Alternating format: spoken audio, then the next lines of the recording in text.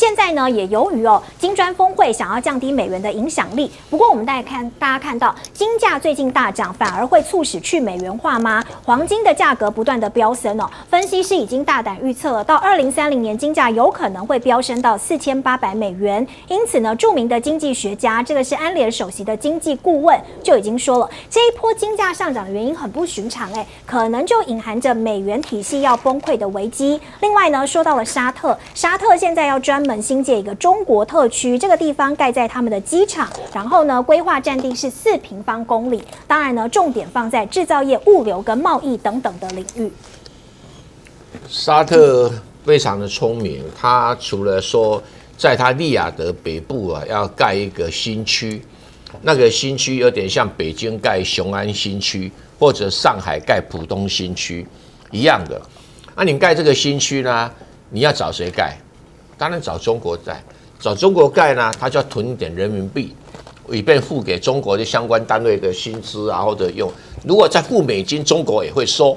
可是问题，你赚到的钱再转成美金，然后再转成那，哎呀，那个中间啊，这个会有这种价差就被赚走了吧？因为做 CFO 财务长的人对这种这种差价都非常的这个斤斤计较，他才有办法把整个资金效率运用到最好。所以沙特也有这种需要跟特质。那你说，除了这个中国帮你盖新的这个诶市区以外啦，你当然也希望说来参加这些东西的厂商，哎，这个新区很大哎哈，从通信、道路什么一大堆哦，这个产公司项目很多啊，啊，家电啊一大堆。那请问一下，那这些厂商聪明的人就把它留着嘛？哎，你不要完全哈。都大就在中国大陆组装好再送来嘛，你有些东西在我们这边做嘛，哎，我就可以一个小小的工业区出来了。所以他们想到这一点，就说那好，我就在我机场旁边弄个工业区，这没什么稀奇啊。我们台湾也搞过这个概念啊。哎呀，我我这个在距离桃园比较近哈，那我就在新竹搞一个啊，搞一个工业区，然后我在高雄在小港旁边哦，呃，什么搞一个什么桥头是不是？来搞个工业区，因为。工业区啊，做的东西不是要存起来，要运出去，要运出去就要很方便的运输道路。那离机场、离港口当然最好的东西嘛。所以这个沙特这样想说：“哎，我顺便拉一些中国厂商来哦，那你们在帮我做过各种工程的时候，你们有些东西就这么加工就好了嘛。那我们我们沙特人口也许不适合，哎，完全来担任什么职务啊？但是你们人在我们植物也可以增加我们国家的。”消费力啊，哦，所以这是经济考虑，他想要作为中东的一个制造业中心、一个旅游中心、一个金融中心，啊，这个实际上是沙特王储。我觉得沙特王储这个人哦，蛮有雄心壮志的哦，我是觉得比他们啊以前的那些叔叔伯伯、叔叔伯伯们哦，比较认真做事啊，因为这么有钱的家庭出身的，还愿意这么卖力在做这些事情哦。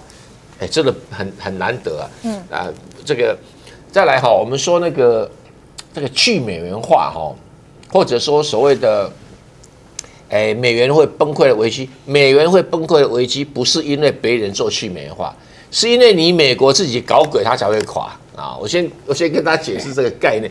来，那你今天呢？俄罗斯说搞一个什么机制啊、清算啊，跟去美元化无关，为什么？中国的所有的义乌的厂商出去还是收美元啦，太，你跟他讲说，哎，可不可以请麻烦你这个收卢布、收卢比？义乌的厂商你跟 no，那我就不出货了，那你要不你给我欧元嘛？最起码你给我欧元嘛？为什么？因为这好变现嘛，啊，那你现在面对的这个俄罗斯所谓的用的架构去美元化，其实是中国在帮俄罗斯度过困难嗯。等于是给你一个很大 favor，哎呀，他现在周转就，好吧，好吧，来就来一个支付系统嘛，我来一个清算银行，反正对中国来讲多一个也没什么差别嘛，嗯。但是好戏还在后面，为什么？因为那好，那印度要嘎一脚，印度的卢比没有人要，所以到时候中国就要要伤脑筋啦，对不对？他说哦，中国我跟你很好，我一大堆卢比跟你换人民币。你看，你帅将军第一个在摇头，对不对？换了以后，你捧着卢比要干嘛？你不晓得干嘛，对不对呀？那印度拿到人民币，转手就换北了啊，因为人民币在市场上很很流行、很通行啊。我跟各位解释，一个货币通不通行哦，你看一个指标就很清楚。在那个机场，我们不是每一个人，呃，比如到到印尼去买什么币啊，到越南买什么币啊，到美国买什么黄金啊，呃，卖美金啊。你注意到买进跟卖出那个差价，那个差价越小，越小流通率越高。嗯。所以他买进很容易卖出，卖出很容易再买进，所以差价很小。但如果买进卖出的差价很大，那表示说在这个机场或者这个市场里面流通性很低啊。你看那个表就很清楚了。哎，人民币以前呢，那差价很大哦，后来嘣嘣嘣一直缩小，一直缩小，表示人民币的功能跟流通性在加强。它现在离美元的差价不远，嗯啊，尤其在台湾呢，几乎是一样的那个差价的比例啦。所以这是人民币的。成为国际货币的条件，但能不能去美元化？不会，为什么？